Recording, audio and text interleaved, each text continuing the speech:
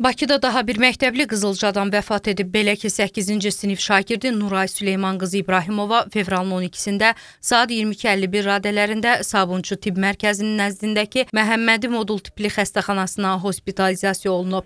Bu barədə təbibdən bildirilib. Qeyd edilib ki, yeniyetmədə fevralın 3-ü tarixindən infeksion mənşəli xəstəliyə yoluxma halı qeydə alınıb. Tibb müəssisəsinə vəziyyəti son dərəcə ağır şok vəziyyətində daxil olub. Ona qızılcanın ağırlaşması, kəskin tənəffüs, ürək-damar, böyrək çatışmazlığı diaqnozu təyin edilib. Ayın 13-də pasiyentin vəziyyəti pisləşib. Tənəffüs və ürək-damar çatışmazlığı əlamətləri qeyd edilib. Axşama doğru ürək fəaliyyətinin dayanması halı baş verib. Aparılan reanimasyon tədbirlər nəticə verməyib.